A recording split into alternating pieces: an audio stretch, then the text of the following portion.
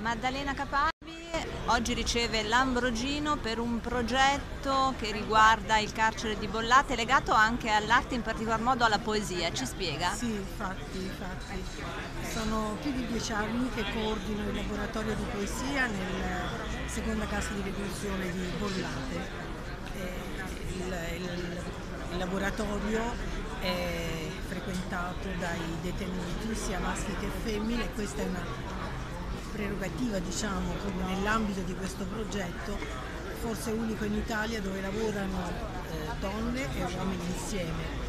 E a prescindere dalla presenza femminile c'è anche la presenza di molti stranieri per cui cerchiamo di eh, creare un sodalizio tra la, la, lingua italiana e quella straniera ovviamente cercando di eh, evitare sovrapposizioni di genere il laboratorio lo seguiamo, lo facciamo ormai da, da tutti i sabati la mattina, anche quando non è possibile cerchiamo di seguire i ragazzi, specialmente se escono all'esterno, ci diamo da fare, sono coadiuvata da, da Paolo Barbieri e da Anna Maria Carpi che è un'altra poetessa. E, e questo, realizziamo ogni anno a fine anno scolastico un'antologia dove inseriamo i versi più belli eh, che hanno prodotto durante l'anno i detenuti e, e viene presentata, aiutata ovviamente anche dal comune, dall'istituzione, nei posti più prestigiosi tipo Palazzo Marino eccetera.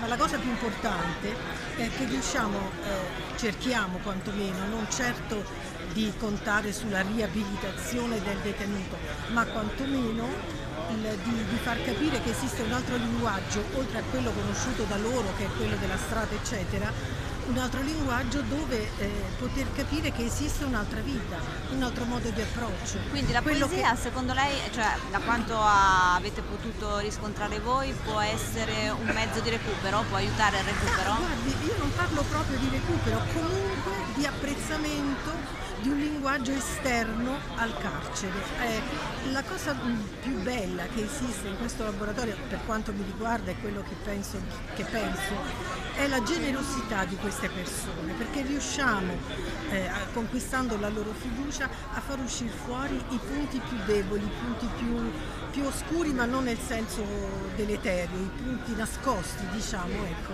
dei ragazzi e delle ragazze.